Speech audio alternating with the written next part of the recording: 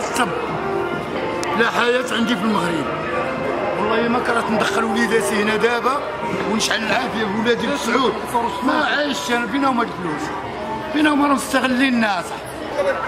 أنت كتشوف ولادك منين قد هذا يدور في الموتور. والدولة كتقول لك حقوق الطفل. بحال هذا تركب الموتور طلع به 5 متر باش نصور لقمته العيش ولا؟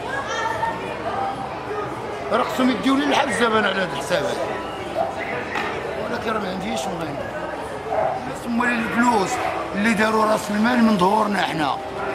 كيستغلونا أنا حاط أنا كيديو معايا 50% دير لي أنا مع السعود ديال الولاد مع ال matériel مع الوراق حنا ما كيعطيوناش الرخصة.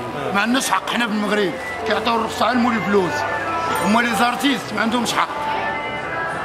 الحرفة هادي. بالنسبة لهذا الشيء اللي كنشوف أنا ما بقاتش كتعيش. أنا خمس شهور وأنا مليح ها بخلاف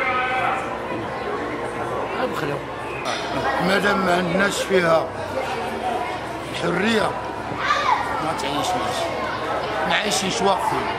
أنا ما جيت من داري. حتى خليت خمس شهور ديال الضوء خليت شهور ديال الماء. والله شاهدنا عليهم تسني حلوف إلا قطعوا لي الماء. إحنا أنا فنان. أنا فنان من الاقدمون أنا هو البطل احمد القنيطري أنا أول واحد اللي علم مراه كدور بلا موطور في الحي ها هي كاينة معايا هنا. مراه كتسوق راسها أول مرأة في المغرب.